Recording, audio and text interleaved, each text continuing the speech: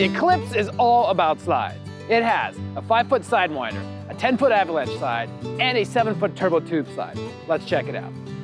The avalanche slide is an improvement on your classic waterfall slide. It has higher edges, it's built more heavy duty so that adults can go down it without any problems, and it has a nice safety lip at the bottom to catch kids as they're coming down. The Sidewinder slide is a really great slide. For one reason, it's really fast, oh, and two, because of its unique oh. shape, it really doesn't take up a lot of extra space. The 7-foot turbo tube slide is a really great slide. However, if tube slides aren't your thing, this one can easily be replaced with the 7-foot super spiral slide. Often overlooked because it's in the back and you know the slides the most impressive thing, the 7-foot tall climbing wall ladder combo is a really great way to get up into the top of the tower. It has a ladder on one side and a rock climbing wall on the other, so you have both something easy and something more challenging.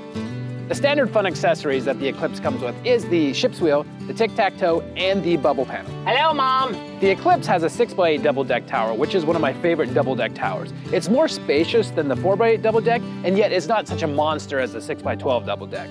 So it kind of has a nice combination of both worlds, where it has more space, but it doesn't eat up your entire yard.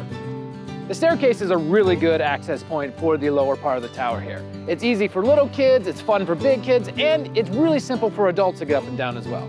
The Eclipse includes a three-position monkey bar beam and has the belt swing, trapeze bar, and plastic glider included.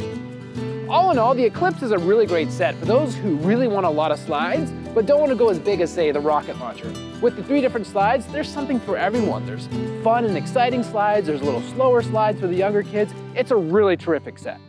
Until next time, this has been Justin with King Swings. Bring the playground home.